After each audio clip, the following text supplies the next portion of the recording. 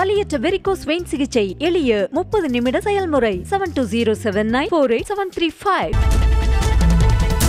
Thoothukudi Palayamkottai சாலையில் திமுக வேட்பாளர் கனிமொழியுடன் முதலமைச்சர் மு ஸ்டாலின் நடைப்பயணமாக சென்று வியாபாரிகள் பொதுமக்களிடம் வாக்கு சேகரித்தார். அப்போது காய்கறி வாங்க வந்த மேரி என்ற பெண் தான் கொண்டு வந்த இரண்டாயிரம் ரூபாயை தவற விட்டுவிட்டதாக முதலமைச்சரிடம் கண்ணீருடன் கூற உடனடியாக முதலமைச்சர் அந்த பெண்ணிற்கு இரண்டாயிரம் ரூபாயை வழங்கினார்.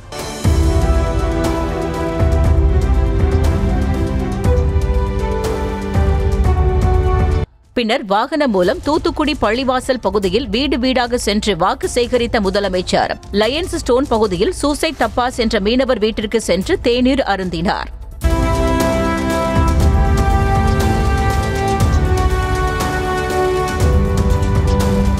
வாக்கு சேகரிப்பின் போது குழந்தைகளை கையில் தூக்கி கொஞ்சி மகிழ்ந்த முதலமைச்சருடன் பொதுமக்கள் செல்ஃபி எடுத்தும் கைகளை கொடுத்து மகிழ்ந்தனர்.